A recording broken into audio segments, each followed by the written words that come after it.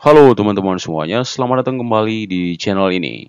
Di video kali ini saya akan membagikan sebuah informasi menarik dan tentunya sangat penting bagi teman-teman para member Indonesia Video. Sebelum lanjut, di bawah video ini ada tombol subscribe atau berlangganan. Kalau kalian suka dengan konten Wong Trend TV, kalian bisa menekan tombol itu untuk berlangganan video atau konten Wong Trend TV dan ini gratis.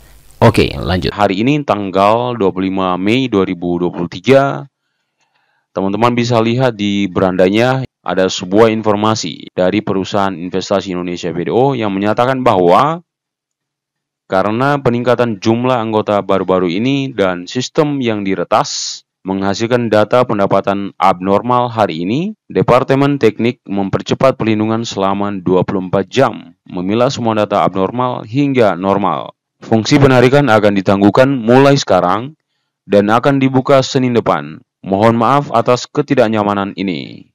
Nah, ini adalah informasi resmi di beranda Indonesia PDO, teman-teman. Ini bukan saya mengada-ada. Jadi intinya mulai hari ini tanggal 25 Mei 2023 sampai Senin depan kita nggak tahu di tanggal 29 atau di tanggal berapa nanti intinya mulai hari ini semua member Indonesia PDO tidak bisa menarik saldo yang ada di akun mereka oke okay? Sampai jumpa di video saya berikutnya. Bye-bye.